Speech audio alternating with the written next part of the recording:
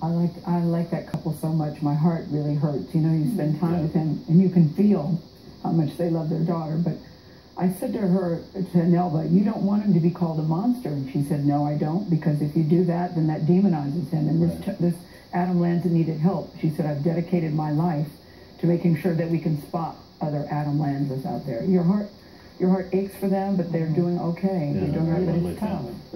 Interview. Beautiful interview. We'll be right back. We'll be right back.